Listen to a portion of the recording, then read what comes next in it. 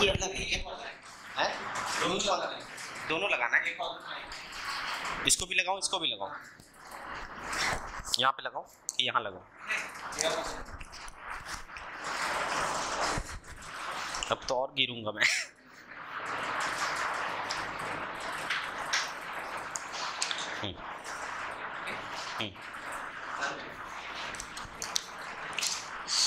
Okay students last time क्या चल रहा था हमारा? ग्रेविटेशनल फ़ील्ड है ना? Gravitational field due to point mass किया था हमने। इसको क्लोज करो बेटा। मल्टीपल हो गया था, ठीक है? तो उसके एग्जांपल्स भी हम लोगों ने देख लिए थे। आपने किया कुछ घर पे? है? बन रहे थे प्रॉब्लम्स ईमानदारी से? डाउट है? हाँ दो डाउट दो। अगर किसी के पास डाउट है तो दे सकते हैं। दो बुक दो।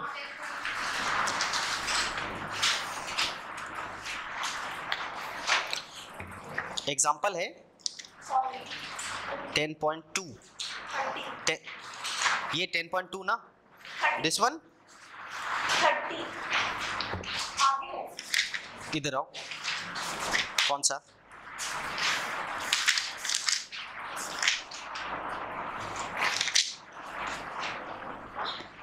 टेन पॉइंट थ्री ज़ीरो बोल रही है? ओके चलो। देखिए बेटा।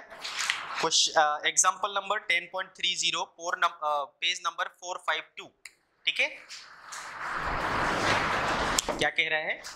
Example four ten point three zero ये कह रहा है बच्चे कि figure shows a system of point masses placed on x axis find the net gravitational field at the origin. ठीक है? ये x axis बना लिया हमने बच्चे। ये आपका क्या है? origin है। इस origin से एक मीटर, दो मीटर, तीन मीटर, चार मीटर, पाँच मीटर, ऐसे करके इन्फिनिटी तक हमने क्या किया है? ऐसे पॉइंट्स बनाए हैं ओके उन हर एक पॉइंट्स पर हमने क्या किया है? एक एक मास रख दिए हैं। Capital M capital M capital M and so on चलेगा? समझ गए? और मुझे क्या करना है? यहाँ पर फ़ील्ड निकालना है। ठीक है? क्या निकालना है? फ़ील्ड निकालना है, यानी ई निकालना है। अच्छे से समझ में आ रहा है? तो आपको अच्छे से समझ में आ रहा है बेटा कि हर एक मास की वजह से यहाँ पर फ़ील्ड होगा। इसके वजह से फ़ील्ड होगा। अच्छा ये कितना है बेटा? तो वन मीटर ये कितना है बेटा? तो टू मीटर ये कितना है बेटा? थ्री मीटर अच्छे से समझा? तो मुझे ये बताओ बच्चे कि इसके कारण यहाँ पर फ़ील्ड का डायरेक्शन क्या होगा? लेफ़्ट की राइट लेफ़्ट की राइट लेफ़्ट इस तरफ़ ना? अंधे हो क्या तुम लोग? ये अट्रैक्ट करेगा ना। क्या बोला है मैंने? जहाँ फ़ील्ड निकालना है प्लस वन के रखेंगे, है ना? वन के को क्या करेगा ये? मास को क्या कर यहाँ रिपल्सिव होता है क्या? लेफ़्ट कैसे जाएगा? ऐसी बातें करते हो तुम लोग। ठीक है? तो क्या होगा? इस तरफ़ फ़ील्ड होगा। इसके कारण मान लो मैंने बोला इवन इसके कारण किधर होगा? इसके सबके कारण राइट ही होगा। सब अपनी ओर अट्रैक्ट करेगा। है ना? सब अपनी ओर अट्रैक्ट करेगा। तो बताओ ई वन कितना होगा बेटा? G capital M upon one का स्क्वायर दूसरे वाले के कारण कितना होगा? टू का स्क्वायर तीसरे के कारण? थ्री का स्क्वायर एंड सो ऑन समझ गए? बोलो। तो इस तरीके से बहुत सारे सारे पार्टिकल्स के कारण क्या होगा? फ़ील्ड बनेंगे। तो टोटल फ़ील्ड क्या होगा बेटा?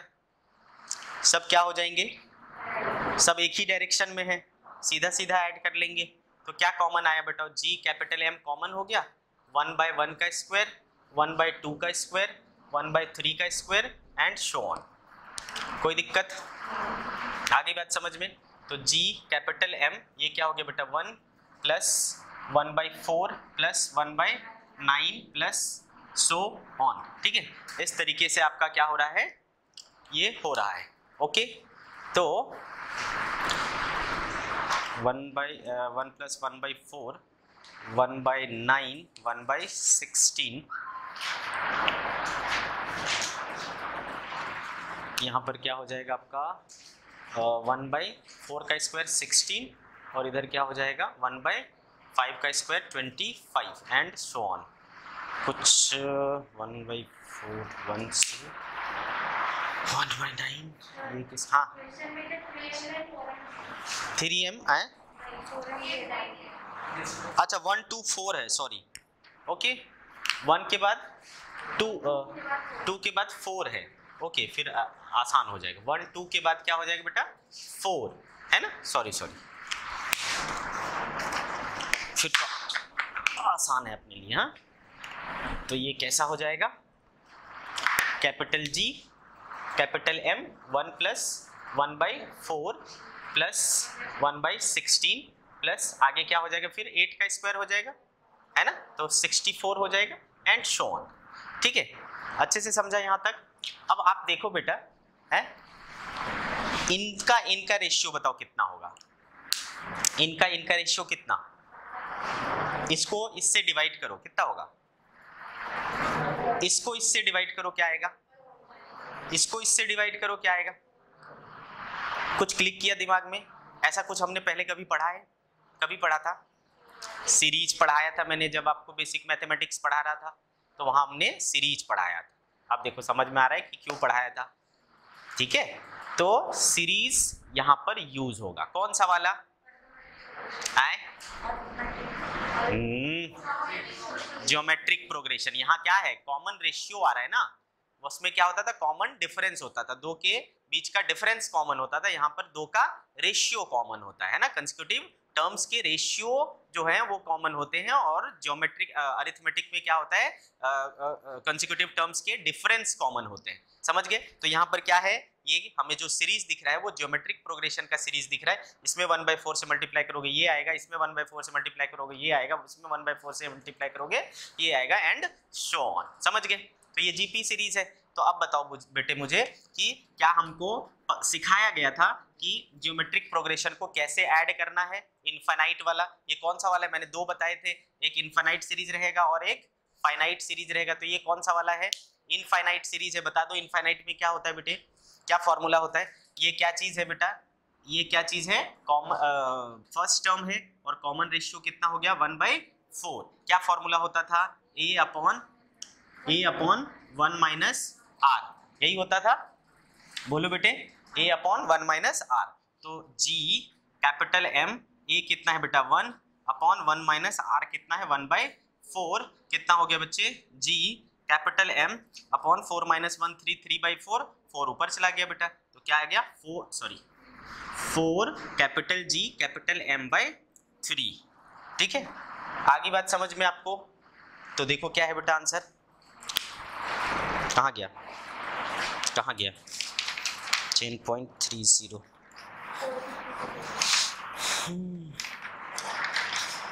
अरे आया क्या answer four G M by three direction किधर है बेटे? डायरेक्शन किधर है? देखो अलोंग एक्स एक्सिस है तो अगर आप इसको डायरेक्शन डालना चाहते हो तो कौन सा होगा? एक्स एक्सिस को कौन बताता है? I cap so the answer is four G M by three I cap कुछ दिक्कत है, बोलो। अच्छे से समझ में आया? ओके आगे बढ़ जाऊँ मैं, और किसी को है कुछ? कोई और डाउट है बच्चे? आगे बढ़ू मैं? टॉपिक आगे आगे बढ़ाऊं? चलो तो हम लोग कर रहे थे, क्या बोलते मल्टीपल मासेस हो गए तो उसमें कुछ दिक्कत हो तो बोलो। आगे बढ़ जाऊँ? ठीक है, चलो नेक्स्ट हेडिंग डालना बेटा। नेक्स्ट हेडिंग डालना। Gravitational field due to gravitational field due to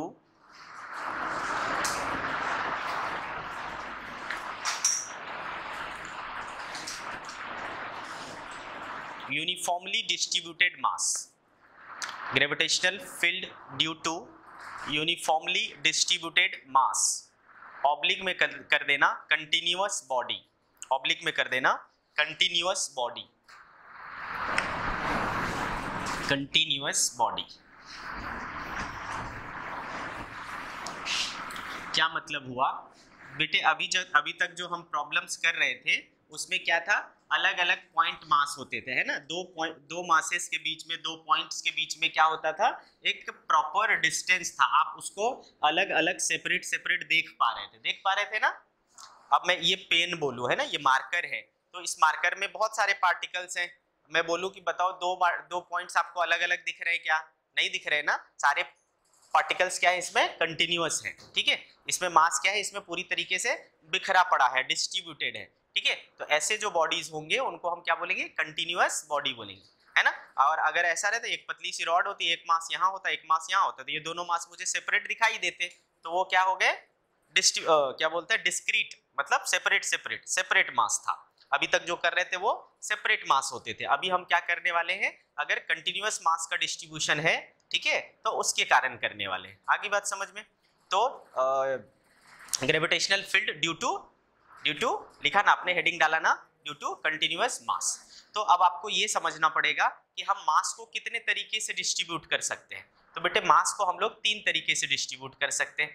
एक लाइन पर मास डिस्ट्रीब्यूट कर सकते हैं, एक प्लेन पर मास को डिस्ट्रीब्यूट कर सकते हैं, एक वॉल्यूम को, एक वॉल्यूम में मास को डिस्ट्रीब्यूट कर सकते हैं। समझा कि नहीं? ठीक है? इसमें जो मास का डिस्ट्रीब्यूशन है, वो कैसा है बेटा? लीनियर है है ना? अगर ये टेबल की बात करो तो इसमें कैसा है? एरियल है। इस पूरे कमरे में भर दूँ कोई चीज़ तो वो क्या हो जाएगा? वो इसके पूरे वॉल्यूम में हो जाएगा। आगे क्या बात समझ में? तो इस तरीके से हम तीन तरीके से मास का डिस्ट्रीब्यूशन कर सकते हैं, ठीक है? तो मास डिस्ट्रीब्यूशन ठीक है? तो तीन तरीके से यूनिफॉर्म मास डिस्ट्रीब्यूशन कर सकते हैं। एक को हम लोग बोलेंगे बेटा linear mass distribution linear mass distribution ठीक है बेटा? लीनियर मास डिस्ट्रीब्यूशन इसमें क्या करते हैं? हम लोग मास को पर यूनिट लेंथ में मतलब पर यूनिट लेंथ में मास को बराबर इक्वली क्या कर लेते हैं? डिवाइड कर लेते हैं. इसको हम लोग लेमडा से शो करेंगे बेटा. तो मास पर यूनिट लेंथ ठीक है बेटे? मास पर यूनिट लेंथ लेमडा क्या हुआ बेटा? Mass distributed per unit length अरे, बात समझ में आ रही है आपको? अगर बेटे आपको लेमडा दिया हुआ है, इसका मतलब मास पर यूनिट लेंथ दिया हुआ यानी केजी पर मीटर दिया हुआ रहेगा। तो अगर मान लो एक प्रॉपर लेंथ का मास चाहिए तो क्या करोगे? कोई चीज़ पर यूनिट लेंथ पता है तो एक प्रॉपर लेंथ का पता करने के लिए क्या करना पड़ेगा? मल्टीप्लाई करूँगा, ठीक है? दिख रहा है यहाँ पर। अगर मुझे मास चाहिए तो क्या करना पड़ेगा? डीएम बराबर लेमडा इन इंटू डीएल नहीं समझा? मास निकल जाएगा उस एलिमेंट का। डीएल लेंथ का मास कितना होगा? तो सर लेमडा इंटू डीएल होगा। समझ गए? सिमिलरली दूसरा होता है बेटा एरियल मास डिस्ट्रीब्यूशन इसमें हम लोग क्या करते हैं? मास को एरिया पे डिस्ट्रीब्यूट करते हैं। इसको अपन सिग्मा से शो कर सकते हैं। किससे? सिग्मा से। इसको क्या कहते हैं बेटा? डीएम बाय डीए है ना? मास पर यूनिट एरिया ठीक है? मास पर यूनिट एरिया बताओ इसमें डीएम कैसे निकलेगा? अरे, जल्दी बोलो। डीएम कैसे निकले? सिग्मा इंटू डीए अगर सिग्मा पता है तो आपको क्या करना पड़ेगा? एरिया से मल्टीप्लाई करना पड़ेगा, उसका मास पता चल जाएगा। और तीसरा है, volume mass distribution. Volume mass distribution. ठीक है? Volume mass distribution. इसको अपन रो से शो करते हैं। रो। ठीक है? तो इसमें क्या हो गया बेटा? मास पर यूनिट वॉल्यूम। इसी को अपन डेंसिटी कहते हैं। मास पर यूनिट वॉल्यूम को ही क्या कहते हैं बेटे? डेंसिटी कहते हैं। तो देयर फोर डीएम इस केस में कितना होगा बताओ? रो इंटू डीवी अच्छे से समझा? तो इस तरीके से अगर अलग अलग प्रकार का मास डिस्ट्रीब्यूशन होगा तो हमें अगर एक पर्टिकुलर लेंथ या पर्टिकुलर एरिया या पर्टिकुलर वॉल्यूम का मास निकालना हो तो हम इस तरीके से निकाल सकते हैं। अंडरस्टूड ओके आगे बढ़ जाऊँ? चलो। तो जो सबसे सिंपल मास का डिस्ट्रीब्यूशन हमें समझ में आता है, वो है लीनियर मास डिस्ट्रीब्यूशन जैसे कि रॉड ठीक है? जैसे कि रॉड तो सबसे पहले हम लोग निकालेंगे हेडिंग डालिए। पहला gravitational field gravitational field due to okay gravitational field due to a uniform rod uniform rod ठीक है बच्चे? एक यूनिफॉर्म रॉड के कारण हमें क्या करना है? ग्रेविटेशनल फ़ील्ड निकालना तो चलो मैंने एक रॉड पकड़ लिया। ठीक है बच्चे? इसकी लंबाई कितनी है? कैपिटल एल इसका टोटल मास कितना है? कैपिटल एम ओके यहाँ से यहाँ से डी डिस्टेंस पर कोई पॉइंट है। यहाँ मुझे क्या करना है? फ़ील्ड निकालना है। ओके क्या करना है? फ़ील्ड निकालना है। कैसे निकालूँगा बच्चे? तो सबसे पहले मुझे ये बताओ, यहाँ पर मास का डिस्ट्रीब्यूशन कैसा होगा? मास का डिस्ट्रीब्यूशन कैसा होगा?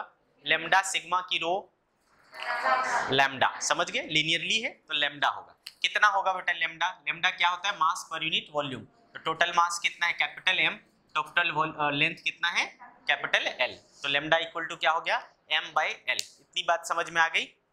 तो बेटे, अगर मैं यहाँ पर एक छोटा सा एलिमेंट काट लेता, कितनी लंबाई का? dx. और मैं बोलता कि इस पॉइंट से इस पॉइंट की दूरी कितनी है? x है। चलेगा? बोलो। तो जब मैं एक एलिमेंट काटता हूँ, इसका मतलब क्या हो जाता है? एक पॉइंट मास हो जाता है। पॉइंट मास के कारण फ़ील्ड निकालना आता है क्या हमें? क्या है फॉर्मूला उसका? G M by R square G M by R square तो यहाँ क्या हो जाएगा बेटा? जी इसका मास को मैंने क्या बोला? डीएम बताओ डीएम कितना बेटे? डीएम कितना? मैंने क्या बोला था? बताओ जल्दी। लेमडा इंटू डी एल तो डी एल इसका कितना है? डी एक्स तो लेमडा डी एक्स लेमडा कितना बेटा? एम बाई एल तो M by L D X नहीं ना समझा? तो जी इसका मास डी एम अपॉन क्या बेटा? यहाँ से यहाँ तक की दूरी एक्स स्क्वायर अरे बोलो। तो ये छोटे से मास की वजह से फ़ील्ड निकला। तो फ़ील्ड भी बहुत छोटा सा होगा, इसको मैं डी ई बोलूँगा। ओके ठीक है? अब मुझे क्या करना पड़ेगा? तो बोलो तो बेटा टोटल निकालने के लिए क्या करना पड़ेगा? इंटीग्रेट करना पड़ेगा करना पड़ेगा कि नहीं? तो इसको इंटीग्रेट करूँगा। तो ये मुझे क्या दे देगा बेटा? टोटल फ़ील्ड दे देगा। टोटल फ़ील्ड दे देगा। है ना? जी अच्छा डी एम कितना था? तो सर ये इतना था capital M by L D X upon क्या है बच्चे? एक्स स्क्वायर ये एक चीज़ें क्या है? कांस्टेंट है ना? G constant capital M constant L constant ठीक है?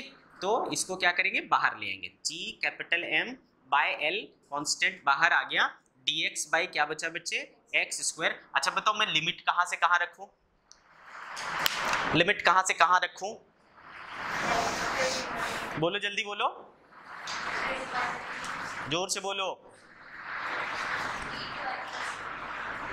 हैं अरे कल तो सेम टाइप का किए थे ना। कल किए थे ना ये? फिर भी ऐसे कर रहे हो तुम लोग? बोलो। आए। हाँ गजब। लाडच कर दी तुम तो। कहाँ से शुरू है? डी से। कहाँ खत्म है? डी प्लस एल क्या करते हो तुम लोग? नहीं दिख रहा है। हैं? चश्मा भी लगाए हो कई लोग। फिर भी। नहीं समझ आ रहा है।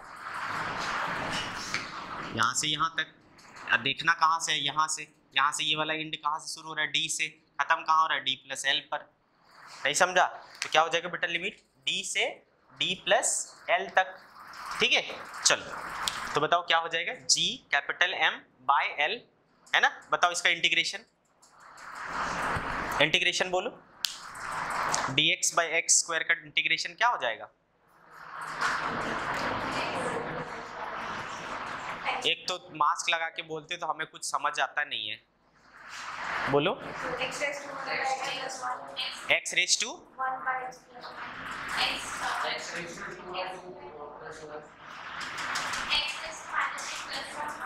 हाँ ये शाबाश। ठीक है? एक्स को पहले ऊपर ले जाएँगे। पावर क्या हो गया? माइनस टू ठीक है? तो एक्स का पावर क्या हो जाएगा? Minus two plus one minus two plus one limit D से डी प्लस एल तक। समझ गए? तो g capital M upon L क्या हो जाएगा? X का power minus one minus one D से d प्लस एल बिल्कुल सेम चीज़ किए थे कल। तो g कैपिटल M, ये क्या हो गया? Minus one by X D से d प्लस एल है? ओके इधर मिटाऊं बेटे। इस तरफ़ मिटाऊं ओके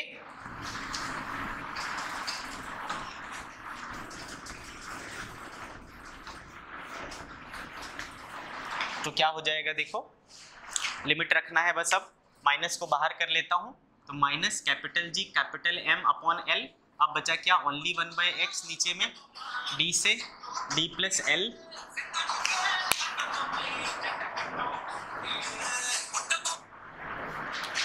ठीक है बच्चे?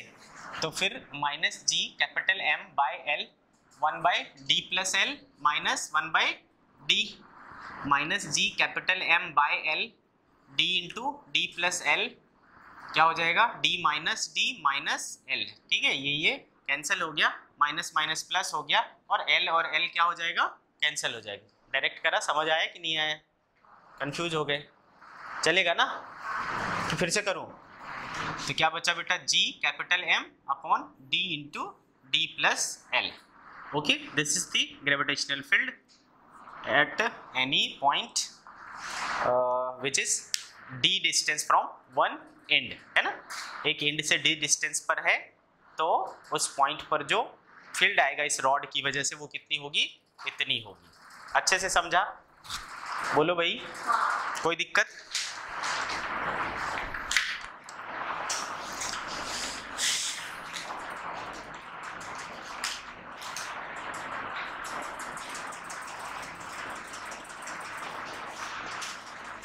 आगे बढ़ जाऊँ।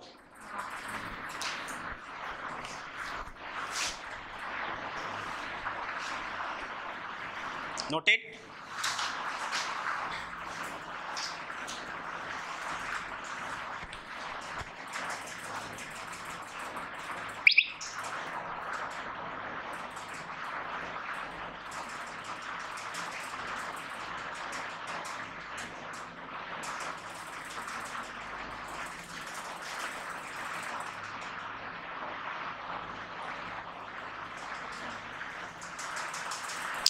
नेक्स्ट हेडिंग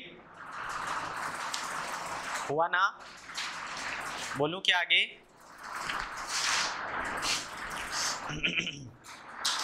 इधर मिटाऊं? Next heading gravitational field due to gravitational field due to uniform circular ring uniform circular ring at an axial position. At an axial position. Axis, axial. ठीक है? Axial position. ओके तो भाई ring ring समझ रहे हो ना आप? हाँ? रिंग मतलब? हम्म मोटा हो गया हूँ, लग रहा है। निकल नहीं रहा। ठीक है? ये रिंग हो गया बेटे। ओके और एक्सिस कौन सा होता है बेटा? इसके सेंटर से पास होने वाली लाइन क्या है? है ना? ये रिंग है और ये इसके सेंटर से पास होने वाली जो लाइन होती है, वो एक्सिस होती है। इस एक्सिस पर किसी पॉइंट पर मुझे फ़ील्ड निकालना होगा तो वो जो पोजीशन है, वो क्या कहलाएगा? एक्शियल पोजीशन कहलाएगा। आगे बात समझ में? तो बेटे, मान लो मैंने ये, है ना? Gravitational field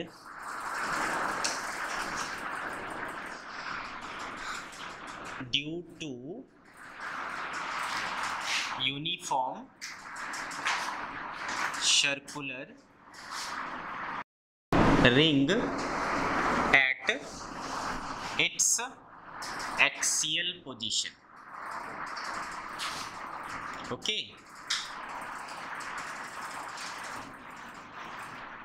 ठीक है? एट एन एक्सियल पोजिशन तो मान लो बेटे, ये हमारा क्या हो गया? रिंग हो गया. है ना? ये इसका सेंटर हो गया. और ये इसका एक्सिस एक्सिस हो गया। आ रही बात समझ में? तो यहाँ पर मैंने कोई एक पॉइंट चूज़ कर लिया। यहाँ मुझे क्या चाहिए? फ़ील्ड चाहिए। ठीक? ये दूरी मैंने क्या ले ली? सपोज़ x और ये मान लो इसका क्या है? रेडियस रिंग का रेडियस अब मुझे एक चीज़ बताओ कि ये रिंग कैसे रखा हुआ है? आपको दिख ऐसे रहा है, लेकिन ये एक्चुअल कैसा है बेटा? ऐसा। समझ गए? ये वाला पार्ट जो है, वो ऐसा है और आधा पार्ट क्या है, इस बोर्ड के पीछे है। ठीक है? तो इसको मैं डैश कर देता हूँ। डैश वाला पार्ट क्या है बेटा? पीछे है। नहीं समझा ना इमेजिन कर पा रहे हो? है ना? This is like this okay अच्छे से समझ में आ रहा है? ये वाला जो डैश पार्ट है, वो बोर्ड के पीछे है और ये वाला पार्ट ऐसे है। जो हार्ड पार्ट है, वो ऐसा है। समझ गए? अच्छे से समझा। अब मुझे एक चीज़ बताओ। इसमें जो मास का डिस्ट्रीब्यूशन है, वो कैसा है? लेमडा, सिग्मा लेमडा, सिग्मा की रो। हम्म? जल्दी बोलो बच्चे। लेमडा, सिग्मा की रो। सिग्मा? क्यों ऐसा लगता है बेटा, सिग्मा? अरे, सरफेस प्लेन होने से क्या होता है? मास कहाँ है? मास तो सिर्फ़ किनारे किनारे है ना, पापा? नहीं समझ आ रहा है। इस पूरे में है क्या? पूरे में है क्या मास? पूरे, ये सरफेस एरिया है ना? इस पूरे में है क्या? मास तो सिर्फ़ किनारे किनारे। ये लंबाई पर है ये सरकमफेरेंस पर है बस। समझा कि नहीं? मास कहाँ है? सिर्फ़ सरकमफेरेंस पे है। अच्छे से समझा। ठीक है? तो यहाँ पर भी मास का जो डिस्ट्रीब्यूशन है, वो किस रूप में है? लेमडा के रूप में। अच्छे से समझा। ठीक है भाई। अब मैं क्या करता हूँ? यहाँ पर एक छोटा सा एलिमेंट ले लेता हूँ। ऐसा। चलेगा? ऐसा छोटा सा एलिमेंट ले लिया। इसका मास मान लो कितना है बेटा? डीएम है ना? मास कितना है? डीएम है। अच्छे से समझा? और मुझे फ़ील्ड कहाँ निकालना है? यहाँ निकालना है। जो मैं डीएम लेता हूँ, वो डीएम कैसा होता है बेटा? डीएम कैसा ट्रीट होता है? एक पॉइंट मास की तरह। पॉइंट मास की वजह से यहाँ पर फ़ील्ड निकालना है। कैसे निकालूँगा? क्या फॉर्मूला लगेगा? सीधा G M by R square तो कौन सा आर? ये वाला आर ये दूरी चाहिए मुझे। नहीं, इसको मैं बोल लेता हूँ बेटा स्मॉल आर चलेगा ना? क्या हम स्मॉल आर को निकाल सकते हैं? कितना बेटा? Square root R square plus X square ये स्मॉल आर है। तो बताओ, इसकी वजह से जो यहाँ फ़ील्ड होगा, वो कितना होगा? E बराबर, बोलो capital G D M upon R square यही होगा ना फ़ील्ड कुछ दिक्कत है? अच्छा चूँकि ये छोटू सा मास लिया था तो ये फ़ील्ड भी क्या होगा बेटा? बहुत छोटू सा होगा। D E e। इसका डायरेक्शन किधर होगा बच्चे, बताओ? डायरेक्शन किधर होगा इस फ़ील्ड का? अरे, बोलो बच्चे। किधर? इस तरफ़। इस तरफ़। किस तरफ़? अरे लेफ़्ट में किधर? लाइन बताओ ना। है ना? इसकी तरफ़ जाएगा। ओके तो इस फ़ील्ड का जो डायरेक्शन होगा वो इस तरफ़ होगा, है ना? ऐसा। नहीं समझा? होगा कि नहीं बताओ? कुछ शक है इसमें? नहीं ना? अच्छे से समझा। अब मान लो बच्चे, मैंने इसको एंगल मान लिया थीटा चलेगा? है? इसको मान लिया एंगल थीटा इसको थीटा मानो इसको थीटा मानो? डी ई कॉस थीटा चलो, इसको एंगल मान लिया थीटा तो बेटे, इधर क्या आएगा? डी ई कॉस थीटा और ऊपर क्या जाएगा? डी ई साइन थीटा अच्छे से समझा? अरे बोलो। अब ये जो डी ई कॉस थीटा है, वो किधर लग रहा है? along दी एक्सिस लग रहा है। ये किधर लग रहा है? along दी एक्सिस लग रहा है। अच्छे से समझा? अब ध्यान से सुनना। जैसा ये मास है, वैसा ही इसके अपोजिट में एक मास इधर भी होगा। समझ रहे हो? ठीक है? उसके कारण फ़ील्ड बिल्कुल वैसा ही इधर बनेगा। है? ये एंगल भी वही थीटा होगा। वैसा ही डी कॉस थीटा इधर और डी साइन थीटा इधर आएगा। तो ये डी साइन थीटा, ये डी साइन थीटा क्या हो जाएगा बेटा? इसका मतलब वर्टिकल कंपोनेंट क्या हो जाएगा? कैंसल हो जाएगा। नहीं, हर एक, क्योंकि हर एक पॉइंट के कॉरस्पॉन्डिंग उसके अपोजिट में एक पॉइंट होगा। है ना? हर एक पॉइंट के कोई भी पॉइंट लेंगे तो। वो सब एक दूसरे को वर्टिकल वाले को क्या कर देंगे? कैंसिल कर देंगे, उसका नेट क्या आएगा? ज़ीरो तो इसका मतलब हमें समझ आ रहा है कि टोटल जो फ़ील्ड आएगा ना यहाँ पे, वो किधर होगा? एक्सिस के अलोंग ही होगा। नहीं समझा? क्या आएगा? एक्सिस के अलोंग ही आएगा। आगे इतनी बात समझ में आपको? ओके तो चलो भैया, हम क्या करें? इन्हीं को ऐड कर ले बस। डी कॉस थीटा को सबका ऐड कर लूँ। जितने भी एलिमेंट बनेंगे, सारे सारे के डी कॉस थीटा को ऐड कर लेंगे तो मुझे क्या मिल जाएगा? नेट फ़ील्ड मिला, मिल जाएगा जो कि किधर होगा? एक्सिस के अलोंग होगा। अलोंग दी, एक्सिस होगा। अच्छे से समझाना? तो चलो। तो डी ई एक्सीएल कितना हो गया भाई? D E cos theta D E कितना था? डी ई कितना था? सर, इतना था। Capital G D M by R square. अच्छा कॉस थीटा कितना हो जाएगा बेटा? कॉस थीटा कितना? बेस अपॉन हाइपोटेनियस बेस कितना है? एक्स हाइपोटेनियस कितना है? आर आ रही ना बात समझ में? तो X upon hypotenuse R sorry R R okay कुछ दिक्कत है? तो D E axial equal to हो गया बच्चे capital G D M X upon R का क्यूब अब डीएम की, ये समझ में आ गया। तो हमें क्या दिख रहा है कि ये छोटू सा आया है, सिर्फ़ डीएम की वजह से। टोटल निकालने के लिए क्या करना पड़ेगा? इंटीग्रेट करना पड़ेगा। इसको इंटीग्रेट करूँगा। इसको भी इंटीग्रेट करूँगा। तो ये मुझे क्या दे देगा बेटा? एक्सिस के अलाउंग टोटल फ़ील्ड दे देगा। है ना? और इधर देखो तो कैपिटल जी बदलेगा क्या? नहीं। एक्स बदलेगा क्या? एक्स बदलेगा क्या? वो भी कांस्टेंट है। आर बदलेगा क्या? आर बदलेगा? वो भी नहीं बदलेगा। ये सारी चीज़ें कांस्टेंट है। बचा क्या? सिर्फ़ डीएम डीएम का इंटीग्रेशन मतलब क्या हुआ बेटा?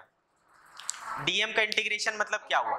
सारे डीएम मतलब सारे पॉइंट को क्या कर लेना? ऐड कर लेना तो सारे पॉइंट के मास को ऐड कर लूँगा तो उसका टोटल मास ही तो निकल जाएगा। नहीं समझा? ठीक है? सो इसके प्लेस प्लेस पे अपन क्या रख सकते बेटा? कैपिटल एम जो कि उसका टोटल मास था।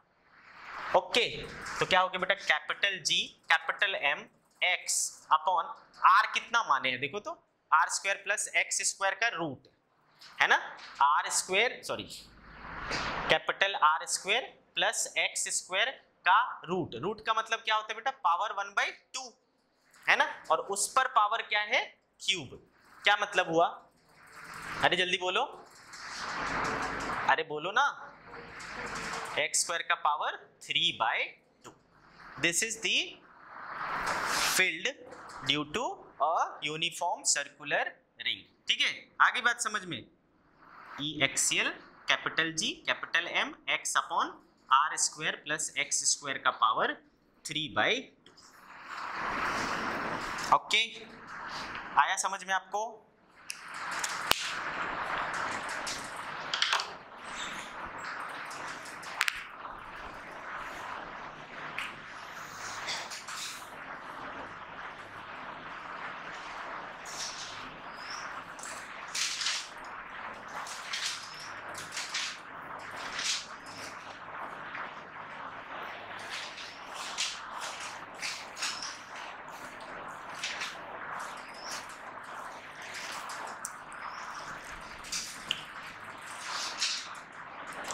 हुआ यहाँ तक की समझ में आई?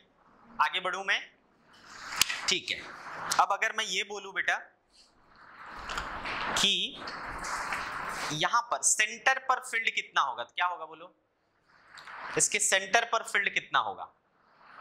बोलो। जल्दी बोलो। ज़ीरो? क्यों होगा ज़ीरो बेटा? अरे यहाँ नहीं दिख रहा है क्या? एक्स ज़ीरो हो जाएगा ना वहाँ पे। सेंटर पर के एक्स क्या हो जाएगा? ज़ीरो ना? समथिंग मल्टीप्लाइड बाय ज़ीरो क्या? यहाँ से भी तो दिख रहा है ना? आया कि नहीं समझ में? अच्छे से समझा? तो सेंटर पर फ़ील्ड कितना होता है? ज़ीरो होता है, ठीक है? स्पेशल केस ऐसा करके लिखो। स्पेशल केस यहाँ तक नोट किया ना? तुमने नोट क्यों नहीं किया? कभी करेगा नोट करो नोट करो। नोट्स प्रॉपर बनने चाहिए बेटा आपके। ऐसा कोड़ियापा मत करो तुम लोग, है ना? नोट्स प्रॉपर बनने चाहिए।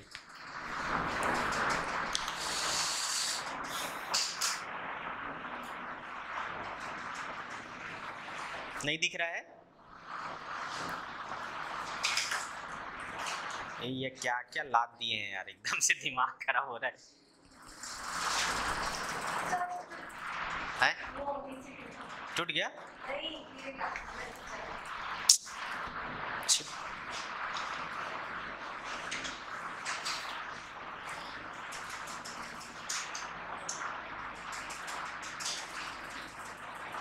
जल्दी करो आर्यन।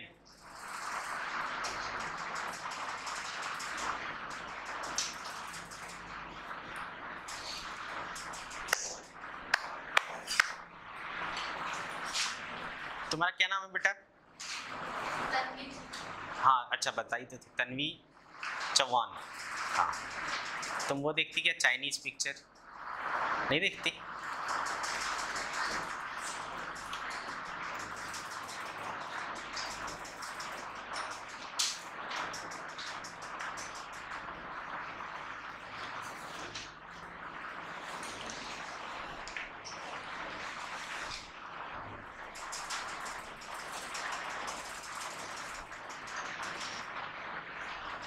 चाइनीज़ पिक्चर में जो निंजा लोग होते हैं ना ऐसे बाल बांधते हैं। देखा है कि तुम लोगों ने किसी ने देखा? चाइनीज़ पिक्चर उसका क्या बोलते हैं वो? क्या नाम? जैकी चैन वगैरह का? एक भी पिक्चर नहीं देखी। ऐसे बाल बांधते कि नहीं बताओ? सही बोला कि नहीं मैंने? इसको देखता हूँ तो मेरे को वो पिक्चर याद आ जाती है। एक तो एक तो पिक्चर है देखना अक्सर देता है सेट, सेट मैक्स पे। Kung Fu Kung Fu Hustle ऐसा करके पिक्चर है। देखा है क्या? है? उसमें सब एक से एक टैलेंटेड रहते हैं। एक एक औरत रहती है, वो ऐसा आवाज़ निकालती है कि पूरे गुंडे मर जाते हैं, ऐसा भाग जाते हैं। देखा है? है ना? और एक तो पूरा उस मेंढक के जैसे ऐसे फैलाता है वो। खतरनाक। एक से एक पिक्चरें बनाते हैं वो लोग भी। साउथ वाले भी फेल है उनके सामने। ये समझ आ गया क्या आपको? तो स्पेशल केस डाला आपने? हेडिंग डालो। Special case special case at the center of the circular ring. At the center of the circular ring. ठीक है? At the centre of circular ring तो ऐसा लिखना बेटा। Since since at centre centre X equal to zero है ना? And formula आपके पास क्या है बेटा? ई एक्स सी एल बराबर capital G capital M X upon R square plus X square का पावर थ्री बाई टू है ना? तो देयर जब आप इसमें x equal to zero put करोगे तो ये वाला क्या हो जाएगा बेटा? ज़ीरो हो जाएगा, है ना? वहाँ पर फ़ील्ड क्या होता है? ज़ीरो होता है। ठीक है? ई e बराबर क्या होता है? ज़ीरो समझ गए ना? अच्छे से समझा? कौन सा वाला? लास्ट वाला। अरे गुड़िया, दिख तो रहा है। पूरा चीज़ समझाऊं?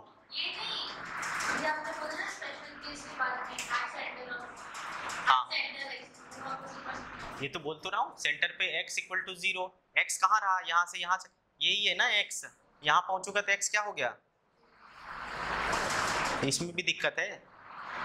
x ज़ीरो हो गया तो एक्सप्रेशन में रख दो ना x ज़ीरो है? समझा कि नहीं? क्लियर है मेरी बात? ओके नेक्स्ट हेडिंग डालना। नेक्स्ट हेडिंग डालना।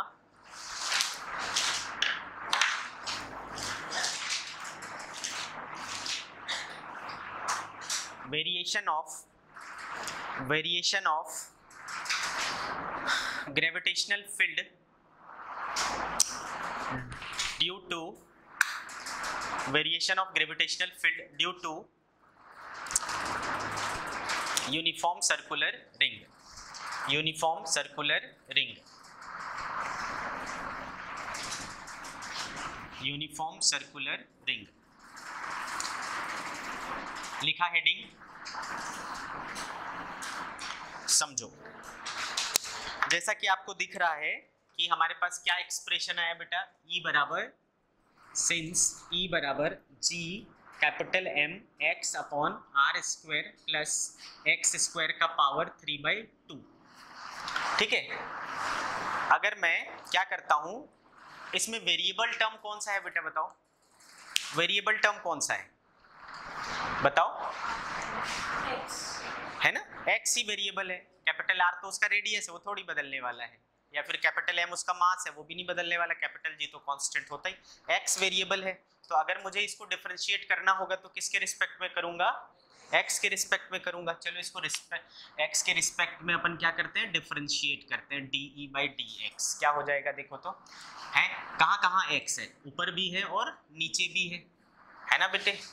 तो ये क्या हो जाएगा? कौन सा रूल लगेगा इसमें बताओ? U बाई वी क्या रूल था बताओ बेटे? कैपिटल G कैपिटल M तो कांस्टेंट है। पहले इसको कांस्टेंट रखते थे। R square plus X square का भी को कांस्टेंट रखते थे। इसको डिफ्रेंशिएट करते थे। एक्स का एक्स के साथ डिफ्रेंशिएशन कितना बेटा? वन फिर माइनस लगाते थे। इस बार इसको कांस्टेंट रखेंगे और इसको डिफ्रेंशिएट करेंगे। इसका कितना हो जाएगा बेटा? थ्री बाई टू क्या बचेगा? आर स्क्वायर प्लस पावर को सामने मल्टीप्लाई करते थे? है ना? एक घट जाएगा तो बेटा क्या बचेगा? वन बाई टू और फिर इसके अंदर क्या है? X square X R square का तो ज़ीरो हो जाएगा। कॉन्स्टेंट है। एक्स स्क्वायर का क्या हो जाएगा? टू एक्स नहीं समझा? अरे बोलो। इतना हो गया। आ रही बात समझ में आपको? ठीक है? तो D E by D X equal to ये पूरा टर्म आया। एक चीज़ याद करो, मैंने बताया था मैक्सिमा या मिनिमा ढूंढना। बताया था मैंने? बोलो, क्या करते थे मैक्सिमा या मिनिमा ढूँढने के लिए? अरे बोलो। बच्चे बोलो how to find position of maxima और मिनिमा नहीं याद है? ऐसे चुप रहते हो ना तो मुझे बहुत गुस्सा आता है। नहीं बोलोगे? हाँ ना याद नहीं है सर। पढ़ाए ही नहीं हो सर। ऐसा कुछ तो बोलो। सर ऐसा कब, ऐसा आपने कभी पढ़ाया नहीं? पढ़ाया मैंने। है? पढ़ा है क्या? याद नहीं है? तो ऐसा ईमानदारी से बोलो ना तुम लोग बच्चे हो मन के सच्चे हो फिर भी बोलते नहीं हो। ठीक है? तो याद नहीं है तो हमने बताया था बेटा एक बार डिफ्रेंशिएट करो इक्वल टू ज़ीरो करो, है ना?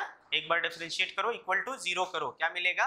मैक्सिमा या मिनिमा मिलेगा। तो एक डिफ्रेंशिएट किया ना हमने, इसको इक्वल टू क्या कर दूँ? ज़ीरो कर दूँ। आया क्या समझ में? ठीक है? तो इसको मैं इक्वल टू ज़ीरो कर दूँगा तो क्या होगा? ये उधर चला जाएगा, ज़ीरो हो जाएगा।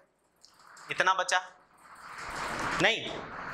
तो क्या बचा? R square plus X square का power three by two minus two X into X क्या हो गया बेटा? Two X square into three by two into R square plus X square का पावर वन बाई टू यही बचा ना equal to क्या? ज़ीरो ये टू और ये टू भी कैंसिल हो गया।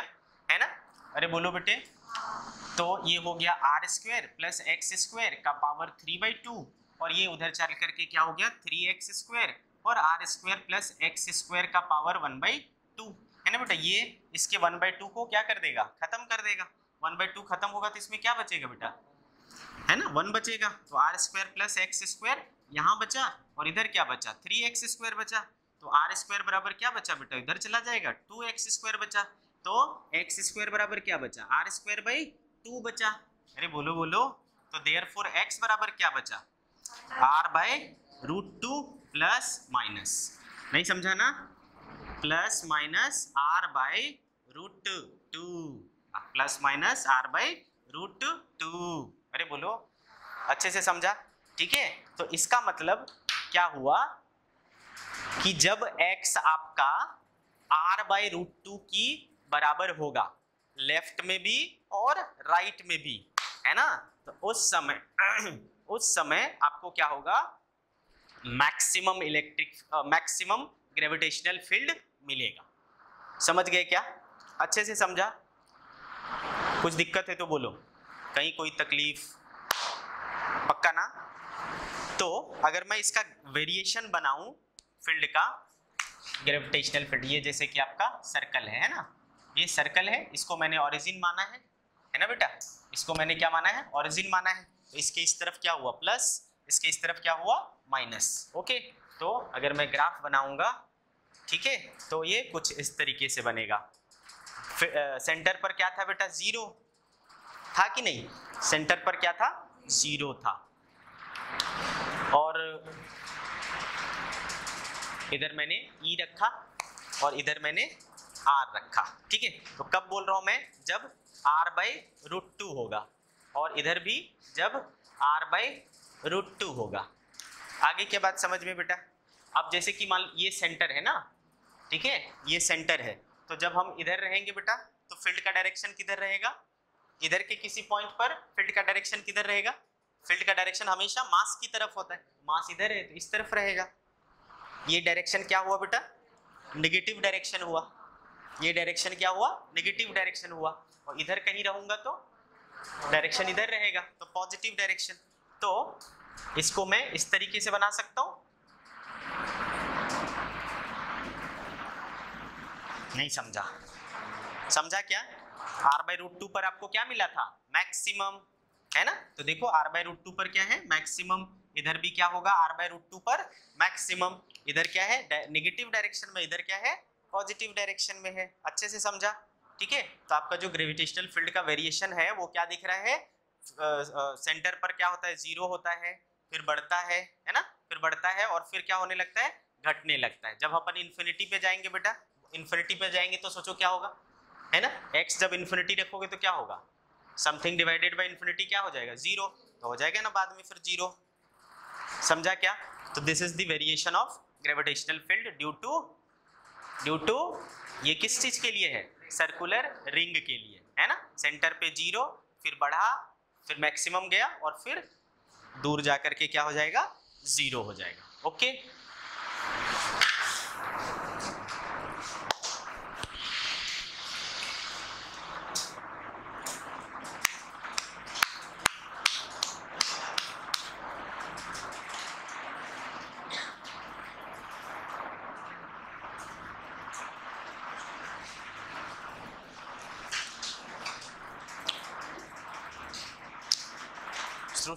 noted Srishti Shah. तुम्हारा क्या नाम है? हैं? अच्छा उस क्लास में है क्या? ओके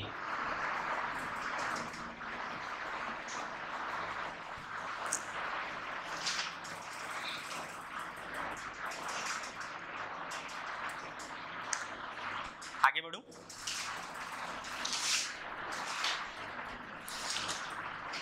इधर मिटाऊं बेटा? इधर मिटाऊं? नेक्स्ट हेडिंग डालना।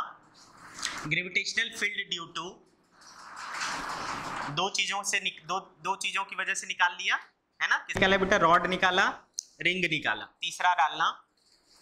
तीसरा डालना।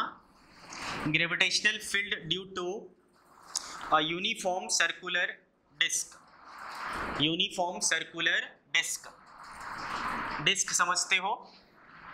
प्लेट है ना? डिस्क मतलब प्लेट या सीडी वाली डिस्क है ना? उसमें क्या होता है? उसमें मास का डिस्ट्रीब्यूशन कैसा रहेगा, सोचो। है ना? उसमें सिग्मा रहेगा, क्योंकि उसमें एरिया है, पूरे एरिया में मास है। है ना? आ रहा है ना समझ में? ठीक है। Gravitational field gravitational field due to uniform circular disc okay चलो। तो भाई हमने इसमें एक डिस्क बना लिया।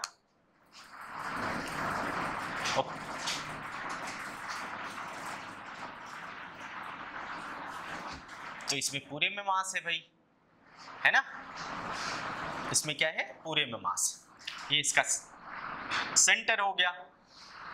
अगेन हमने क्या किया? इसका रेडियस मान लिया। कैपिटल आर और ये इसका एक्सिस हो गया बेटा।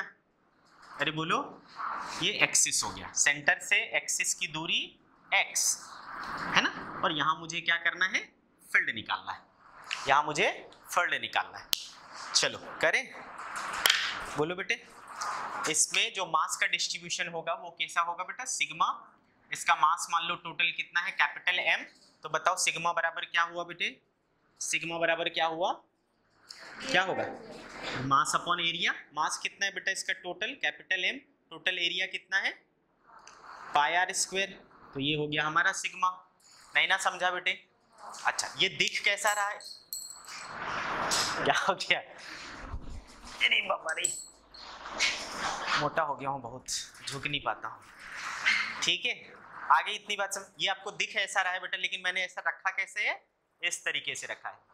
इसका मतलब क्या हुआ? ये वाला पोर्शन क्या है? पीछे, और ये वाला पोर्शन क्या है? सामने। नहीं ना समझा? इमेजिन कर पा रहे हो ना? कुछ दिक्कत है? ओके अब कैसे करें इससे? इसका काम कैसे करें? तो भाई, बहुत आसान है इसको करने का काम। अपन क्या करें कि एक छोटा सा रिंग काट लें। बोलो, क्यों रिंग काटे, सर? अरे बोलो। अरे पूछो ना, रिंग क्यों काटे, सर? क्योंकि हमने रिंग का भी पढ़ चुके हैं। हमको रिंग आ गया है ना? तो अगर रिंग का पता चल जाएगा तो इसमें बहुत सारे रिंग काटे जा सकते हैं कि नहीं? है ना? तो चलो हमने एक रिंग काट लिया। वो जो रिंग काटा हमने, मान लो वो कहाँ पे काटा? वाई पे कितना मोटा? D Y what D Y मोटा। चलेगा? अरे बोलो। डी वाई मोटा हमने रिंग काट लिया। अच्छे से समझा हम लोगों ने? तो बेटे इस रिंग का, रिंग के रूप में हमने क्या काटा? एलिमेंट काटा। इस एलिमेंट का जो मास होगा, है ना? उसको मैंने डीएम बोला। बताओ, कैसे निकालूँगा इस रिंग का मास? आपके पास क्या चीज़ है? सिग्मा है। क्या करना पड़ेगा डीएम निकालने के लिए? सिग्मा इंटू डी और लेमडा के साथ डी एल सिग्मा के साथ डी ए ना? लेमडा के साथ डी एल सिग्मा के साथ डी ए रो के साथ डी वी है? अभी सिग्मा है ना? तो एरिया ना? अरे बोलो। तो क्या करना पड़ेगा? Sigma into D A sigma into D A अब डी ए किसका? डी ए किसका? रिंग का। एरिया किसका लेना है? रिंग का लेना है ना?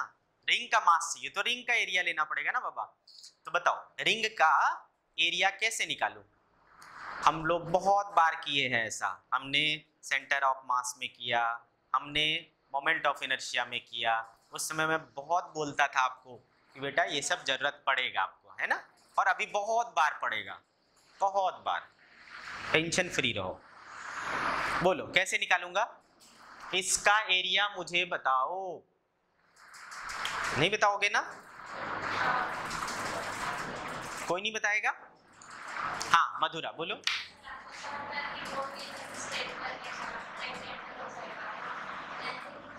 हाँ बोलो बोलो। कितना हो जाएगा फिर?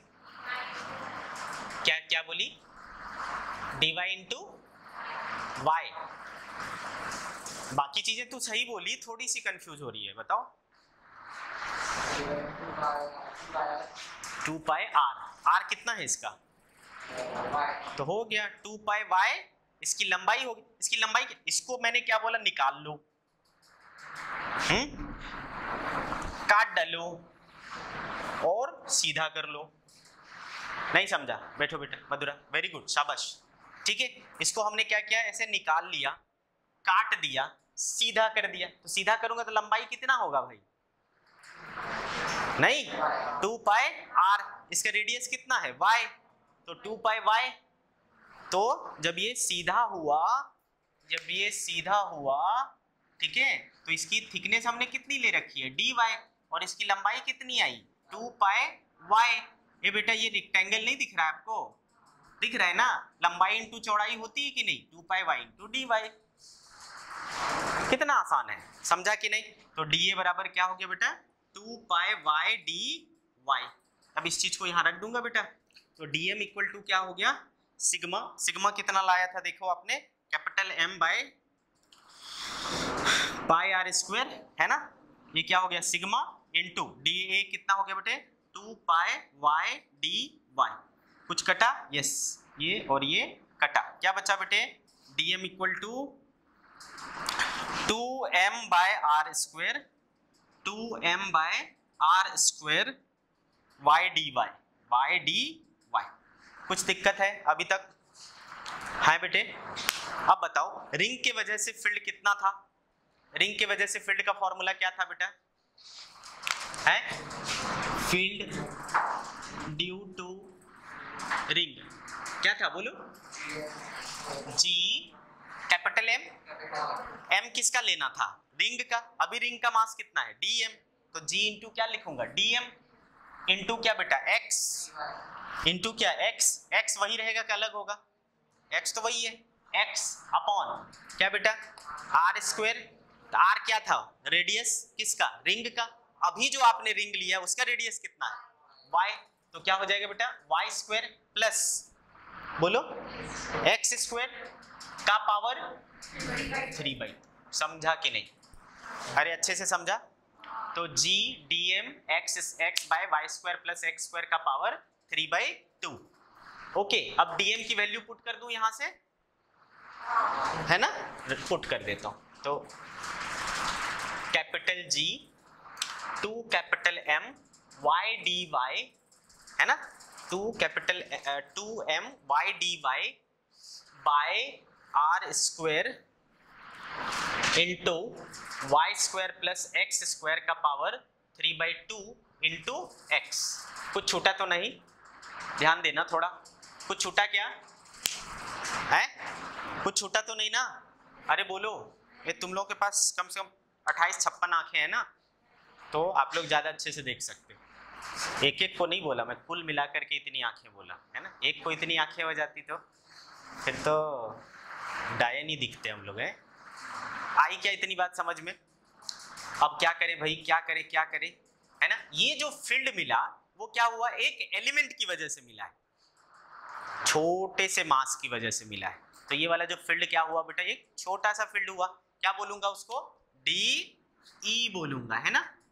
टोटल फ़ील्ड निकालने के लिए क्या करना पड़ेगा आप सोचो? इंटीग्रेट करना पड़ेगा। अच्छा सोचो इंटीग्रेशन किसके कौन सा चीज़ वेरिएबल दिख रहा है आपको इसमें? वेरी कौन सा चीज़ करेगा? क्या करेगा बेटा? एक्स वेरी करेगा? एक्स वेरी करेगा? क्या वेरी करेगा? वाई वेरी करेगा? एक्स तो कोई भी रिंग काटूँगा तो। अरे ये ऐसा है बाबा ऐसा है ना? तो एक छोटा रिंग बड़ा रिंग और बड़ा रिंग और बड़ा रिंग सबसे बड़ा रिंग नहीं? तो ये थोड़ी बदल रहा है। नहीं समझा? अच्छे से समझा? तो बेटे इसमें क्या हो रहा है? वाई बदल रहा है। कहाँ से कहाँ तक बदल रहा है बताओ? सबसे छोटा रिंग सेंटर पे बनेगा, सबसे बड़ा रिंग किनारे बनेगा। तो बताओ वाई कहाँ से कहाँ? ज़ीरो टू, कौन सा वाला आर कैपिटल आर बस, हो गया। काम ही खत्म हो गया भाई। ज़ीरो से कैपिटल आर तक इसको इंटीग्रेट करना है। तो भैया, हमको समझ में आया कि इसमें से वाई वेरिएबल है तो क्यों ना हम बाकी चीज़ें बाहर कर ले? कर ले? तो क्या क्या बाहर आ जाएगा बताओ? टू बाहर आएगा, कैपिटल जी बाहर आएगा, कैपिटल एम बाहर आएगा एक्स बाहर आएगा आर स्क्वायर बाहर आएगा। क्या बचा? अरे बोलो बेटे। इन ऊपर में बचा वाई डी वाई और नीचे बचा y square plus x square का पावर थ्री बाई टू है ना? कहाँ से कहाँ? ज़ीरो से आर तक। अरे बोलो, अब तो सर इसका इंटीग्रेशन कैसे करें? ये तो बहुत ही बहुत ही बहुत ही बेकार दिख रहा है। है ना? क्या? मस्त दिख रहा है कि बेकार दिख रहा है? करने लायक दिख रहा है? हो पाएगा? क्या करूँ बताओ? क्या करूँ? क्या करेंगे? कैसा कैसा रूल लगाएँगे? कौन सा रूल लगाएँगे? पावर रूल हम्म इसमें अपन क्या करेंगे बच्चे? सब्सटीट्यूशन है ना? हमने बताया था इंटीग्रेशन बाय सब्सटीट्यूशन मेथड वो लगाएँगे, है ना? हाँ तो क्या होता था sir? Integration by substitution method में तो मान लो कि हमने y square plus x square को समथिंग मान लिया आर स्क्वायर चलेगा? ओके चलेगा ना? अब इसमें x जो है वो कांस्टेंट है कि वेरिएबल है बेटा? x कांस्टेंट है, उसका डिफरेंशिएशन क्या होगा? ज़ीरो तो मैं इसको क्या करता हूँ? इस इक्वेशन को आर के रिस्पेक्ट में डिफरेंशिएट करता हूँ। चलेगा? तो देखो, इसका कितना हो जाएगा बेटा? पहले तो वाई स्क्वायर है तो टू वाई हो जाएगा। फिर क्या करना पड़ेगा? D y by d r है ना? D y by d r x तो कांस्टेंट था, उसका क्या हो जाएगा? ज़ीरो और आर स्क्वायर का क्या हो जाएगा बेटा? टू आर नहीं समझा? अच्छे से समझा? कुछ दिक्कत हो तो बोलना। तो टू वाई डी वाई बराबर क्या हो गया बेटा? टू आर डी आर है ना? तो ये वाई टू और टू संपला हो गया। क्या बचा बेटे? वाई डी वाई बराबर आर डी आर इधर की चीज़ें मिटाऊं तो मैं चलेगा। नोट किया है आपने? सबने नोट डाउन किया है? चलो, इधर मिटाता हूँ मैं? हम्म? ताकि मुझे थोड़ी स्पेस मिल जाए।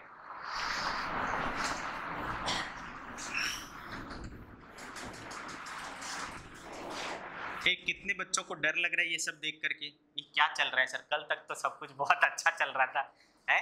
ये आज क्या हो गया है? डर लग रहा है? बोलो, ईमानदारी से बताओ। डर लग रहा है ना?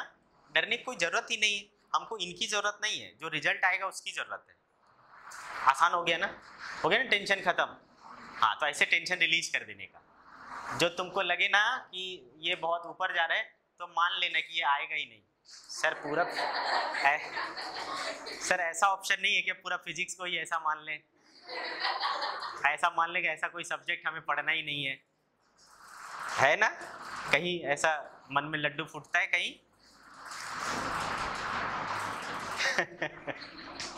ठीक है। ऐसा अपने को डेरिवेशन थोड़ी आना है भाई। हमको कंपटीशन में डेरिवेशन करना है क्या? नहीं करना है ना? हमको क्या चाहिए बेटा? रिज़ल्ट चाहिए। तो एप्लीकेशन इंपॉर्टेंट है। अंडरस्टूड तो डर लगे तो ऐसे इस तरीके से मन को तसल्ली देने का।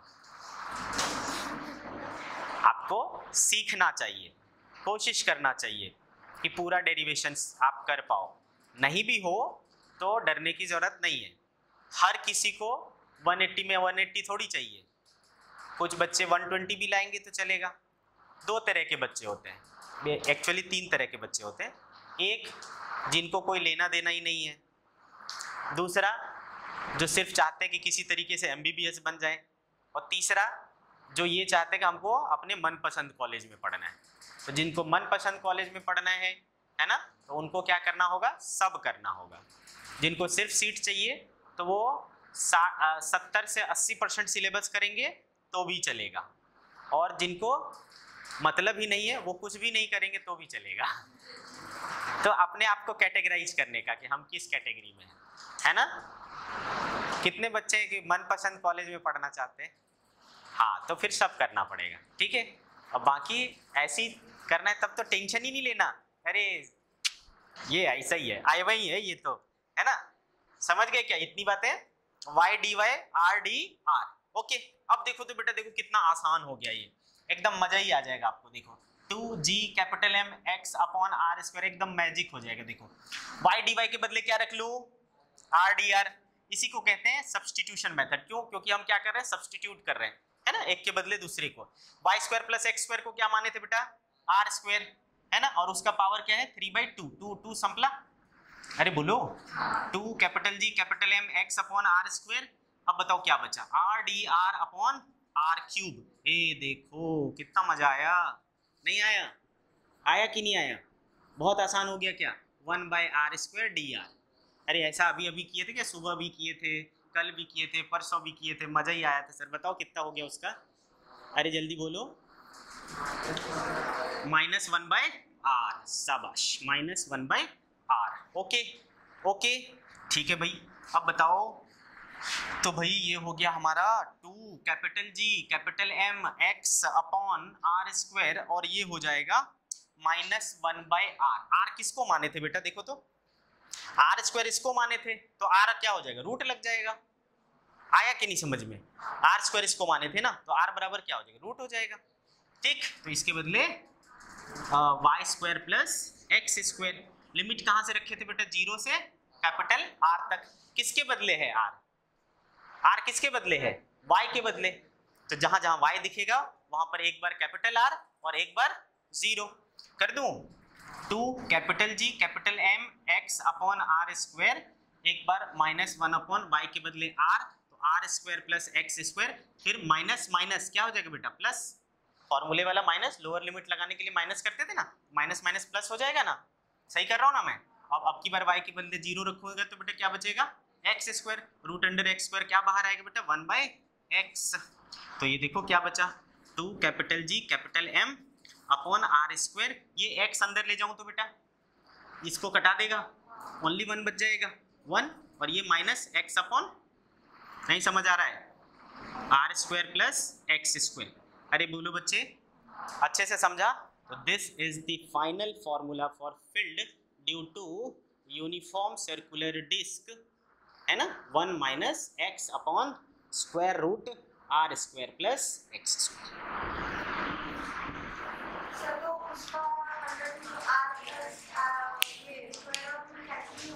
किसका? हाँ। क्या कैंसिल करूँ?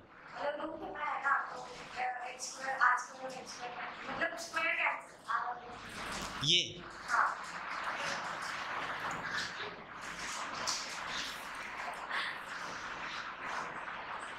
ज़िंदा रहने दो हमको थोड़ा, हैं? क्या चाहती है? खड़े खड़े सुसाइड कर लूँ? ऐसा चाहती है? ये ऐसा कौन सा मैथ है रे भाई? हमने नहीं पढ़ा, तुम लोगों ने पढ़ा है क्या ऐसा? आए? ऐसा कोई मैथ पढ़ा था तुम लोगों ने? ये रूट गायब हो जाए। अरे गुड़िया, ऐसा कैसे होगा? ये अलग चीज़ है, ये अलग चीज़ है। है? है कि नहीं? समझा कि नहीं? ऐसी बातें नहीं करते बेटा। मुझे खराब लगता है। हुँ? हम्म? चलो। समझ गए ना?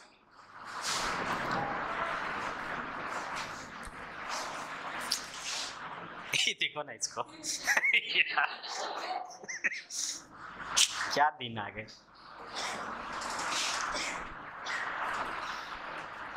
कोल्हू के बैल हो गए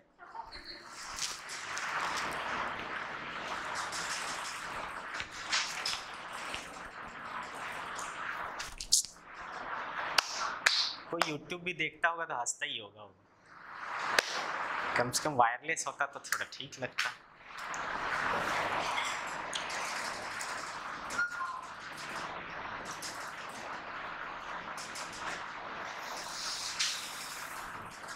डन ना?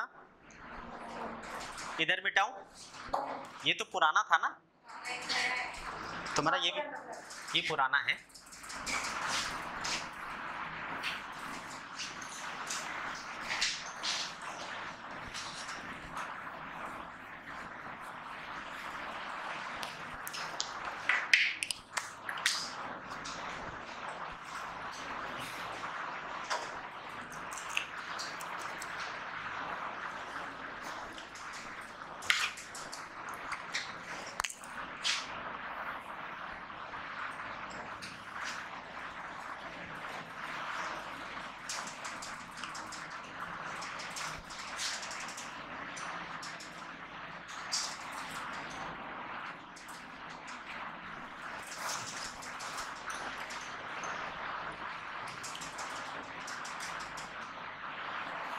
हुआ क्या बोलो बच्चे एक चीज़ दिखाऊँ मैं आपको? देखो इधर। ये इसका, इस जो हमने डिस्क माना था, ये उसका रेडियस था, ये x है तो square root r square plus x square ये हुआ बेटा, और ये x है। यहाँ जो फॉर्मूला आया बेटा, इसमें देखो x upon square root r square plus x square x क्या है इसका? बेस है। अगर इसको मैं थीटा मानूं तो ये इसको थीटा मानूं तो ये बेस हुआ और ये हाइपोटेनियस हुआ। बेस अपॉन हाइपोटेनियस क्या होता है बेटा? कॉस थीटा तो इसको मैं ऐसा भी लिख सकता हूँ क्या बच्चे? ई e बराबर two g m by r square one minus cos theta बोलो। कॉस थीटा क्या हुआ बेटा? ये जो इसका बाउंड्री यहाँ पर एंगल बनाएगा, वो थीटा आप ऐसे भी याद रख सकते हो। चलेगा ना? आया समझ में? Two g m by r square one minus cos theta theta क्या हुआ? डिस्क जो उस पोजीशन पर एंगल बनाएगा। डिस्क की बाउंड्री जो उस पोजीशन पर एंगल बनाएगा दैट इज़ थीटा क्या क्या सीख गए हम बेटा? रॉड की वजह से रिंग की वजह से और डिस्क की वजह से। ओके आगे बढ़े। आगे बढ़े। नेक्स्ट हेडिंग डालो। चलो, फटाफट करो, फटाफट। एकदम रॉकेट की स्पीड से। हुँ? हम्म? तुम लोग एनएफएस खेले हो? एनएफएस है? कौन कौन खेले? लड़के लोग ज़रूर खेले हो। लड़कियों में कोई नहीं। तुम लोग भी खेल, तुम भी खेल लिए? अरे वाह, गजब। अरे उधर उधर उधर है। है ना? तो उसमें वो होता है क्या? Nitrogen booster. तो जब मैं फास्ट बोलूँ तो उसमें नाइट्रोजन बूस्टर डाल देने का, पेन में। ऐसे लिखाएगा चलो डन आगे बढ़ू। Gravitational field due to next gravitational field due to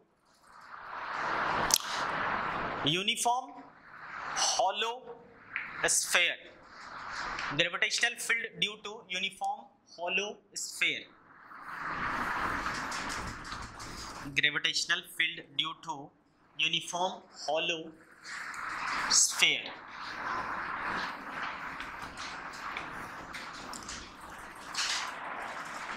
तो इस बार अपने को क्या लेना है बेटा? हॉलो स्फेयर लेना है। समझते हो ना? हॉलो स्फेयर हॉलो स्फेयर मतलब मान लो फुटबॉल, अंदर में क्या भरा है? हवा भरा है। अंदर में क्या भरा है? हवा भरा है। अंदर खाली है। ठीक है? तो बताओ, यहाँ पर जो मास डिस्ट्रीब्यूशन होगा वो कैसा है? अरे जल्दी बोलो। है ना? समझ आया? क्योंकि अंदर तो खाली है। Gravitational field to uniform uniform hollow sphere okay ऐसा रहा तो क्या करेंगे? तो मान लो बच्चे, इसका total mass capital M mass का डिस्ट्रीब्यू सॉरी मास का डिस्ट्रीब्यूशन सिग्मा समझ गए ना? ठीक है? तो इसका ये समझ लो सेंटर हो गया। है ना? और इसका रेडियस हमने ले लिया कैपिटल आर अब यहाँ पर क्या है बच्चे? अगर कहीं पर मुझे फ़ील्ड निकालना है तो उनको मैं तीन कैटेगरी में बांट सकता हूँ। एक आउटसाइड द स्फेयर एक on the surface of the sphere and एक inside of the sphere ऐसे तीन कैटेगरी मैं बना सकता हूँ। समझा क्या? तो case one case one outside the sphere outside the sphere मतलब कोई पोजीशन सपोज़ यहाँ हो तो ये क्या हो गया बेटा हमारा? स्मॉल आर हो गया। तो इस केस में आपको क्या दिख रहा है? आर जो है वो greater than capital R small r का मतलब स्मॉल आर का मतलब डिस्टेंस ऑफ़ द पोजीशन ठीक है? डिस्टेंस ऑफ़ द पोजीशन तो अभी चूँकि वो आउटसाइड में है तो ये, उसके रेडियस से क्या होगा? बड़ा होगा। कैपिटल आर क्या हुआ? रेडियस ऑफ़ दी स्फेयर अच्छे से समझा? तो इसमें प्रूफ करने की ज़रूरत नहीं है। इसका डायरेक्ट रिज़ल्ट आपको याद रखना है। ठीक है? आ रही बात समझ में? तो चलो, याद रखना है आपको कि जब भी बेटा यूनिफॉर्म बॉडी होगा, ध्यान से ध्यान देना, हर समय, हमेशा ऑलवेज जब आपका जो बॉडी है, वो यूनिफॉर्मली डिस्ट्रीब्यूटेड है और सिमेट्रिकल है। कैसा है? सिमेट्रिक है। सिमेट्रिक है ना? दिख रहा है आपको? है ना? यूनिफॉर्म एंड सिमेट्रिक हो और उसके कारण फ़ील्ड आपको आउटसाइड किसी पॉइंट पे निकालना हो। ओके? तो आप क्या कर सकते हो? उसका जो सेंटर ऑफ़ मास होता है, सेंटर ऑफ़ मास हम पढ़ चुके हैं। सेंटर ऑफ़ मास पढ़े हम लोग? तो उसका जो सेंटर ऑफ़ मास होता है वहाँ पर आप क्या कर सकते हो? उस बॉडी के टोटल मास को रख सकते हो। वैसे भी सेंटर ऑफ़ मास का डेफिनेशन क्या होता है? वो पॉइंट जहाँ पर आप टोटल मास को एक पॉइंट पे रख सकते हो। ठीक है? तो बताओ, याद करो, मैंने क्या बोला था? जितने भी जितने भी सिमेट्रिक बॉडी होते हैं, उसका सेंटर ऑफ़ मास उसके ज्योमेट्रिकल सेंटर पर होता है। यानी इसका, इस स्फेयर का सेंटर ऑफ़ मास कहाँ होगा बेटा? सेंटर पे। तो मैंने क्या बोला? इस टोटल मास को कहाँ रख लो? यहाँ रख लो। तो जब यहाँ रख लोगे तो ये क्या बन गया बेटा? पॉइंट मास पॉइंट मास की वजह से फ़ील्ड क्या होता है? बोलो। G m by r square simple तो डायरेक्ट निकल गया हमारा क्या? Capital G capital M upon r sorry r square this is the field okay अच्छे से समझा बेटे? कोई दिक्कत है इसमें? सेकंड केस क्या हो सकता है? Case two. Case two. ये क्या हो जाएगा बच्चे? At the surface of the sphere at the surface of the sphere क्या रिलेशन होगा दोनों के बीच में बेटा? दोनों आर के बीच में? अरे बोलो। सेम आर बराबर क्या हो जाएगा बेटा? कैपिटल आर तो यहाँ रख दू मैं आर बराबर कैपिटल आर क्या हो जाएगा? तो देर इस समय जो आपका ई e होगा फ़ील्ड होगा capital G capital M upon capital R square समझा क्या? कुछ दिक्कत है? Case three case three inside inside the sphere. Inside the sphere. Okay. इसमें क्या हुआ बताओ? R less than capital r हो गया फिर. Okay okay? अरे बोलो ना। ठीक है तो यहाँ पर याद रखना है बेटा क्योंकि अंदर अंदर गए ना, अंदर तो अंदर में कोई मास ही नहीं है है क्या? अंदर में कोई मास ही नहीं है तो मास ही नहीं है तो फ़ील्ड कहाँ से होगा? तो वहाँ पर फ़ील्ड क्या होता है? ज़ीरो। इन साइड क्या रहता है? फ़ील्ड ज़ीरो रहता है, ई बराबर समझ गए क्या? अच्छे से समझा? तो ये हो गया तुम्हारा किसकी वजह से हॉलो स्फेयर की वजह से। लिख डाला आपने। जल्दी करो, फटाफट करो।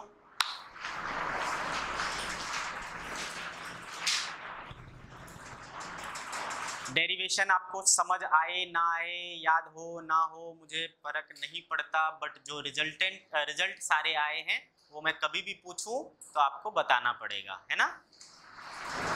आगे बढ़ जाऊँ हेडिंग डालना बेटा। Graph between graph between electric field, graph between sorry gravitational field graph between actually क्या होता है? ये जितनी चीज़ें आप अभी पढ़ रहे हो ना same to same class twelfth में इलेक्ट्रिक फ़ील्ड में पढ़ेंगे। एकदम डिट्टो एकदम डिट्टो, सिर्फ़ नाम बदल जाएगा। क्या? ग्रेविटेशनल फ़ील्ड की जगह इलेक्ट्रोस्टैटिक फ़ील्ड हो जाएगा। मास की जगह चार्ज हो जाएगा। समझ गए क्या? डिट्टो, वही सारी चीज़ें पढ़ेंगे। है ना? तो इसलिए बार बार मुँह में आ जाता है। उसी तरीके से फिर डिट्टो आप मैग्नेटिक फ़ील्ड में पढ़ोगे। एक बार सही से पढ़ोगे, तीन जगह फ़ायदा मिलेगा। आज सही से नहीं पढ़ोगे तो वहाँ भी रोगे फिर रोगे दोबारा रोगे उससे अच्छा साथ में सही से पढ़ो। है कि नहीं? फिजिक्स में ये फ़ायदा है। एक जगह एक बार आप ट्रैक पकड़े, ठीक है? एक बार आप ट्रैक पकड़ोगे तो आपको फिर पूरे दो साल मज़ा ही मज़ा है। और एक बार छोड़े, एक बार डिरेल हुए ना, फिर तो गए। समझ गए क्या? बताओ, मैं क्या हेडिंग डलवाया आपसे? Gravitational field due to due to hollow sphere and distance from its center, and distance from its center. तो देखो तो बेटा, अगर मैं यहाँ पर ग्राफ ड्रॉ करूँ E और R के बीच में, है ना? फ़ील्ड और डिस्टेंस के बीच में ड्रॉ कर रहा हूँ। तो क्या देखा आपने? सेंटर तक मतलब सेंटर से लेकर के सरफेस तक फ़ील्ड क्या है? ज़ीरो है, वहाँ तक फ़ील्ड ही नहीं है। कहा? आर बर, आर बराबर आर तक, वहाँ तक फ़ील्ड नहीं है। और जैसे ही सरफेस आया, वहाँ पर फ़ील्ड कितना हो गया बेटा? ये, यहाँ पर फ़ील्ड है ना, g m by sorry, r square. और उसके बाद फिर क्या होगा? उसके बाद ये वाला। बोलो, आ रहा है समझ में? तो धीरे धीरे ये क्या होगा? जैसे जैसे दूर जाओगे, ये बढ़ेगा। ये बढ़ेगा तो ये आ रहा है समझ में? तो कैसा हो जाएगा बेटा ये ग्राफ? ये इस तरीके से हो जाएगा। फिर इन्फिनिटी पे चलू जाऊँ, चले जाऊँगा तो आर इन्फिनिटी रहेगा तो ये क्या हो जाएगा बेटा? ज़ीरो तो ऐसा बहुत दूर जाकर के क्या हो जाएगा? ज़ीरो हो जाएगा। So this is the graph between gravitational field and r same एकदम डिट्टो यही सारी चीज़ें पढ़ेंगे वहाँ पर। वहाँ पर भी इसी तरीके से स्फेयर होगा बट बट उसमें क्या रहेगा? मास की जगह मास तो रहेगा ही चार्ज रहेगा उस पर हमको चार्ज का वो पढ़ना होगा। इसलिए ध्यान से पढ़ो इन सब चीज़ों को।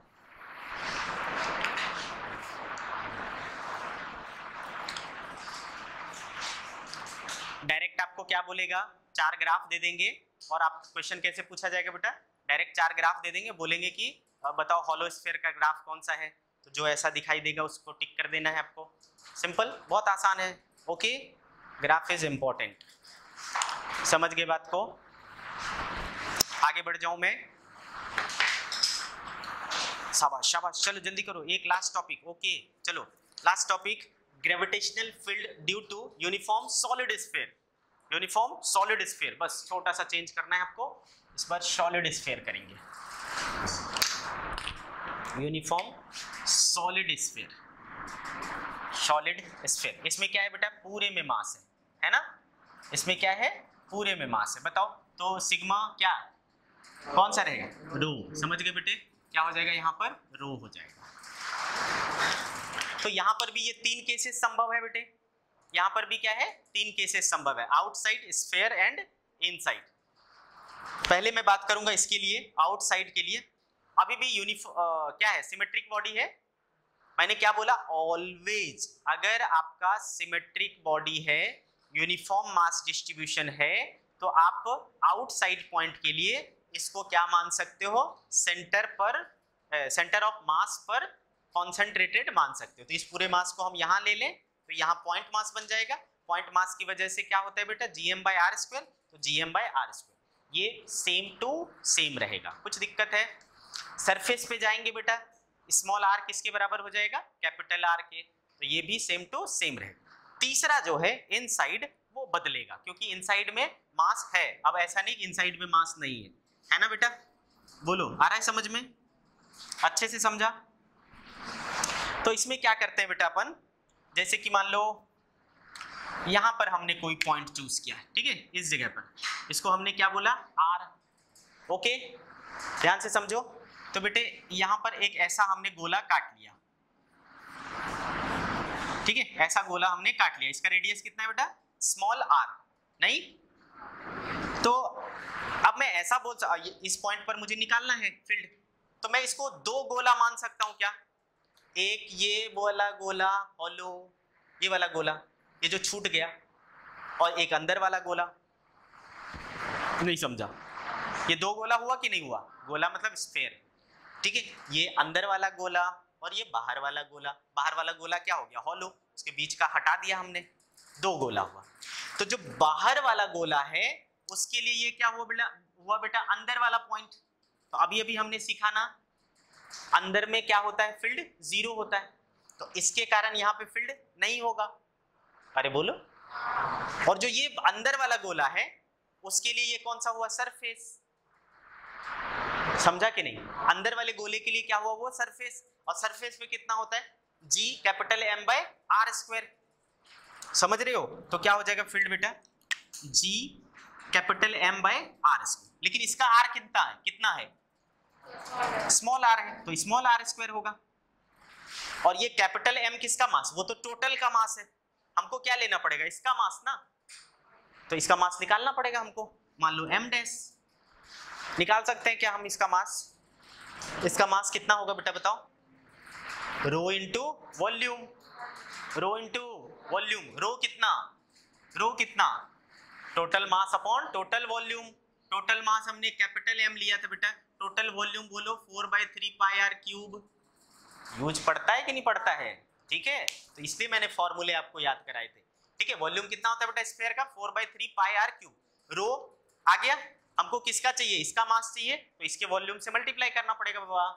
करना पड़ेगा कि नहीं? तो इंटू क्या कर दूँगा बेटा? इसका वॉल्यूम कितना? जल्दी बोलो four by three pi small r cube four by three pi four by three pi समप्ला हो गया।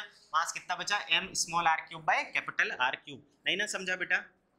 Capital M small r cube by capital R cube अरे बोलो, समझा कि नहीं समझा? तो ये स्मॉल आर स्क्वायर और ये कट गया बेटा। क्या बेटा? G capital M small r upon r cube this is the field inside the solid sphere नहीं समझा? अच्छे से समझा? ओके चलो, फटाफट।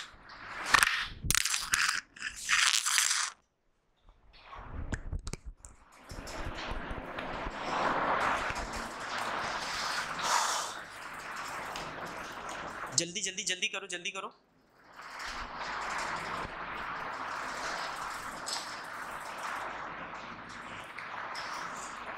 हो गया ना?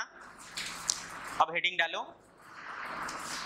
Graph between graph between e and r due to solid sphere graph between e and small r due to solid sphere बताओ तो कैसा ग्राफ होगा बाबा जल्दी बोलो। सोचो, कैसा ग्राफ होगा? ई e. तो अंदर वाला कौन सा है बेटा? ये है। यहाँ पर देखो तो ई e और आर के बीच में कैसा रिलेशन है? है ना? ये सारी चीज़ें कांस्टेंट है। Capital G constant total mass constant radius constant क्या हो रहा है? स्मॉल आर क्या है? Distance from the centre centre पर कितना होगा? सेंटर पर आर कितना? ज़ीरो तो सेंटर पर फ़ील्ड कितना? ज़ीरो तो यहाँ पर ज़ीरो उसके बाद डायरेक्टली बढ़ेगा। कहाँ तक बढ़ेगा? रेडियस तक। तो रेडियस तक क्या रहेगा बेटा? डायरेक्टली प्रोपोर्शनल स्ट्रेट लाइन है ना बेटे? यहाँ पर कितना हो जाएगा? Capital G capital M by r square और उसके बाद क्या होगा? वो वाला, वो देखो आर बढ़ेगे तो वो क्या होगा? घटेगा। तो ये ऐसा। नहीं ना समझा? बोलो। आया क्या समझ में? तो इसमें जो फ़ील्ड का वेरिएशन होगा, वो इस तरीके का होगा। पहले स्ट्रेट फिर सा घटने वाला। ओके बच्चों? तो आज की सभा यही समाप्त होती है।